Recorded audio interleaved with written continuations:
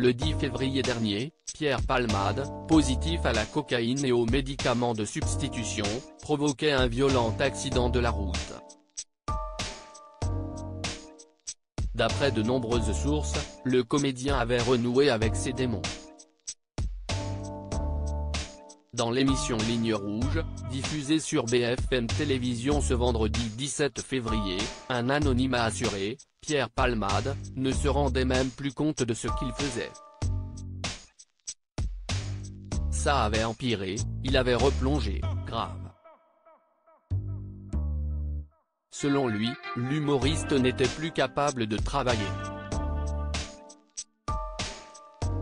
Au micro de BFM Télévision, l'acteur François Rollin a confié, c'était encore agréable de travailler avec lui parce que c'est mon ami, parce que c'est ma vie.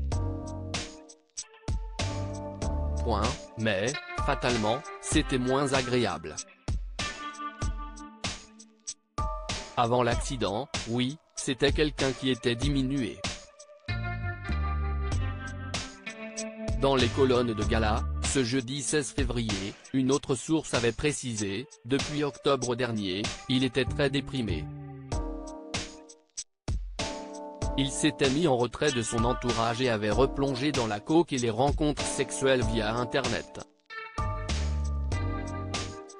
Une assignation à résidence à l'issue de sa garde à vue, ce vendredi 17 février, Pierre Palmade a été mis en examen pour homicide involontaire et blessure involontaire sous l'emprise de stupéfiants. Dans un communiqué, le procureur de la République de Melun, Jean-Michel Bourle, a fait savoir que le comédien est placé sous assignation à résidence au sein d'un service d'addictologie d'un hôpital, sous surveillance électronique.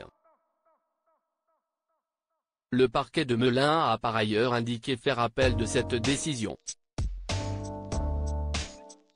Article écrit en collaboration avec 6 médias Crédit Photo, Tiziano da Silva, Cyril Moreau.